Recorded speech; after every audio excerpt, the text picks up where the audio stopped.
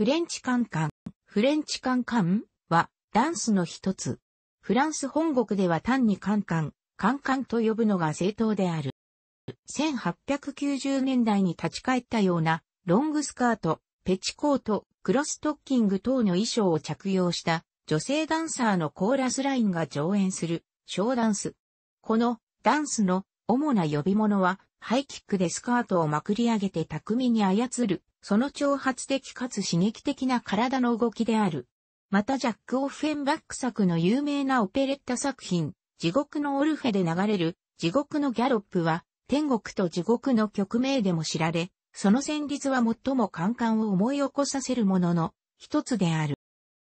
カンカンが史上最初に登場したのは1830年頃のパリモンパルナスにあった労働者階級の舞踏場だった。当時それはカドリールの最終形態にもよく見られたような4分の2拍子の速いダンスであるギャロップよりもさらに快活なものだった。故に、カンカンはもともと、ハイキックや腕、または足を使って、他の身振りに吹ける、二人組向けのダンスであった。これは後に、カンカンの特徴にもなる、大股開きなどの曲芸的なパフォーマンスで人気を博した1820年代の著名な芸人、シャルル・マズリエールの滑稽動作に影響を受けたものと考えられている。この時代、そして19世紀フランスのほぼ前期にかけて、ダンスはシャユ、シャーハットという名でも知られていた。これは、カンカンもシャユも共にフランス語の単語であるが、カンカンが噂話や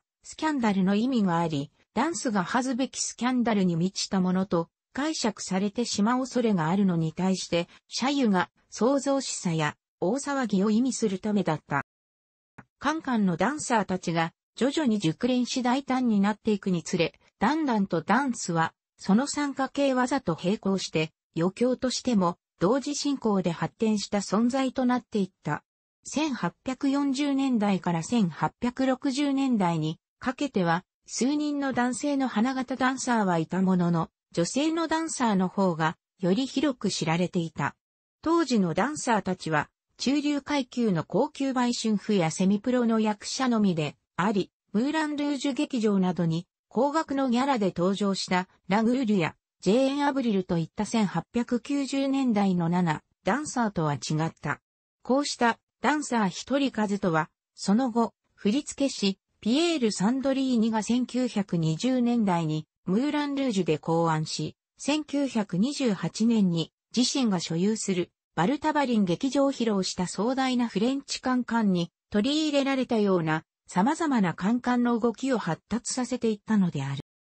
カンカンの踊り子たちは、元来、恵まれない人々への援助を受け負ったドイツの裕福な女性のグループから始まったものであった。彼女らは地元の近隣住民に貧しい人々を養う食物の寄付を募り始めたが、結果的に募集するのをやめて、村の広場で様々なダンスを演ずるようになった。この際入場料の代わりに徴収は食物のみを寄与することが求められた。こうしたダンスの工業で、カンカンは発案されたと人々に信じられている。カンカンは4分の2拍子の速いテンポで行われ、現在は通例ステージ上にて、コーラスライン形式で演じられる。19世紀のフランスにおいて、カンカンはダンスフロア上で踊る、個別の踊り向けのダンスのままであった。またイギリス、アメリカや他の国々において、カンカンは所定の振り付けやステップで女性のグループが踊るミュージックホールで流行の頂点に達し、このスタイルは観光客から利益を得るため1920年代にフランスへ持ち込まれ、このようにしてハイレベルの振り付けが10分からそれ以上続き、観客に女性特有の部分を見せびらかすフレンチカンカンが誕生した。主な動きは、ハイキック、または、バットマン、ロンドゥ、ジャン、スカートをまくり上げて、足の膝より下方を素早く、点させる動き、ポールダルム、片側の足首を掴んで、ほぼ垂直に上げ、もう片方の足を返す動き、側転や大股開き、跳躍、または空中開脚などがある。加えて、カンカンの上演中に飛び交うダンサーの叫びやエール、猫の鳴き声や震え声などは、ほぼ毎回行われるのが慣例である。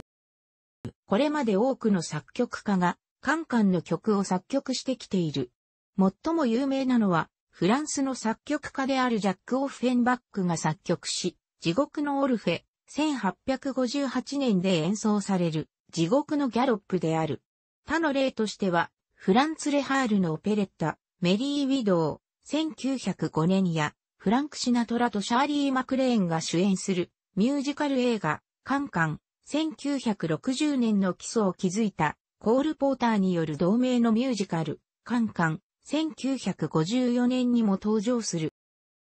またカンカンはバレエにもたびたび登場し、最も著名なものにレオニード・マシーンの風変わりな店、1919年やパリの喜び、同じくバレエ、メリー・ウィドウが挙げられる。また、ジャン・ルノワールによる1954年作の映画、フレンチカンカンのクライマックスシーンで見られるカンカンは、特段に素晴らしい例である。絵画では、アンリ・ド・トゥールーズ・ロートレックが、カンカンのダンサーをテーマにした数々の絵画や、多数のポスターを描いた。他に主題として、カンカンを扱った画家には、ジョルジュ・スーラー、ジョルジュ・ルオー、そしてパブロ・ピカソがいる。以下は翻訳元である英語版の出典項目である。楽しくご覧になりましたら、購読と良いです。クリックしてください。